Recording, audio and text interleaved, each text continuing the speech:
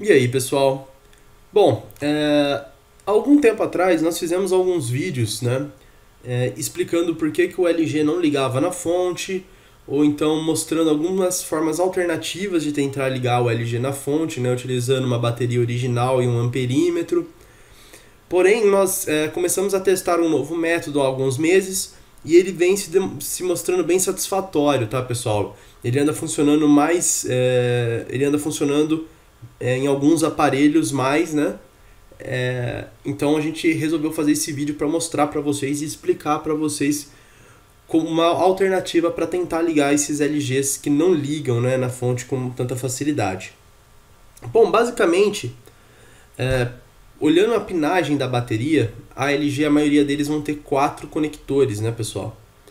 Então aqui, o da esquerda normalmente é o positivo, né, o que fica para fora da placa, que é o positivo. O que fica entre esses outros, os dois outros terminais é o negativo. Nós aqui fazendo alguns testes, pessoal, descobrimos que se nós ligarmos o negativo nesses dois aqui, ó, então deixar o positivo, o do lado de, é, direito dele negativo e o do lado direito do outro negativo, só deixar esse último pino livre, o aparelho pode ligar normalmente na fonte. Não são todos, porém a grande maioria deles está ligando normalmente na fonte, pessoal.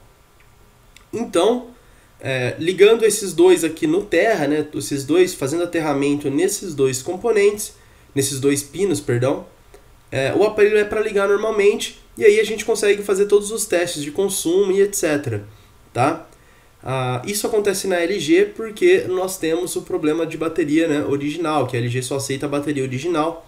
E esse pino aqui a gente conseguiu enganar ele fazendo dessa forma. Bom, vai ligar na fonte 4 volts normal, mesmo padrão para testar qualquer aparelho. A grande diferença é que nós vamos colocar aqui, juntar esses dois negativos. Leonardo, como que eu posso juntar isso? Você pode descascar um fio e enrolar esses dois terminais juntos, um com o outro, e ligar o conector no meio.